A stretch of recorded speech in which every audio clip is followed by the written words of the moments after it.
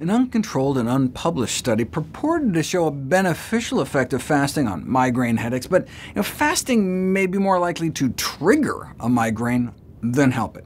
In fact, skip meals are among one of the most consistently identified dietary triggers of headaches in general.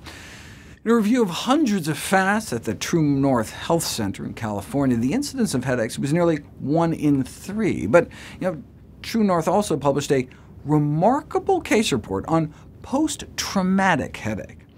Uh, the CDC estimates that more than a million Americans sustain traumatic brain injuries every year, and chronic pain is a common complication, as in like three-quarters suffering such an injury. Uh, there are drugs, of course, to treat it. There are always drugs, and if that doesn't work, surgery, cutting the nerves to your head to stop the pain. What about fasting and plans? A highly debilitating condition, difficult to manage, a 52-year-old woman presents with unremitting chronic post-traumatic headache. And when I say chronic, I mean chronic pain for 16 years, but who then achieved long-term relief following fasting, followed by an exclusively plant-based diet free of added sugar, oil, or salt.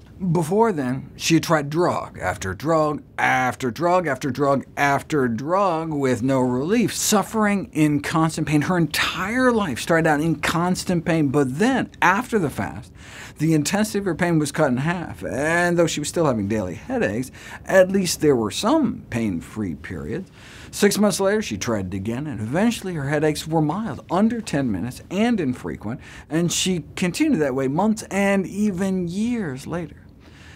Now, of course, it's hard to disentangle the effects of the fasting from the effects of the whole food plant-based diet she remained on those ensuing years. You've heard of analgesics, painkillers? Well, there are some foods that may be proalgesic, pain-promoting, such as foods high in arachidonic acid, which includes meats, dairy, and eggs. So the lowering of arachidonic acid, from which our body makes a range of pro-inflammatory compounds, may be accomplished by eating a more plant-based diet. So maybe that contributed to the benefit in the fasting case, uh, whereas many plant foods are high in anti-inflammatory components. So in terms of migraine headaches, more plant foods and less animal foods may help, but you don't know until you put it to the test.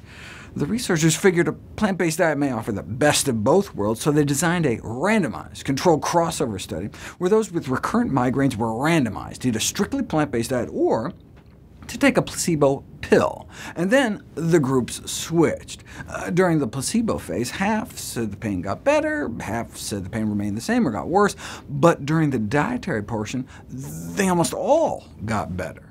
Uh, during that first block, the diet group experienced significant improvements in headache number, pain intensity, days with headaches, and a reduction in the amount of painkillers they needed to take. In fact, it worked a little too good. Many individuals were unwilling to complete the study by returning to their previous diets. Uh, remember, they're supposed to go back to the regular diets and take a pill instead, but they felt so much better that they were like, no way, Jose. And we've seen this with other trials, where those trying plant-based diets felt so good, uh, they often refused to abandon them, screwing up the study. So uh, plant-based diets can sometimes work a little too well.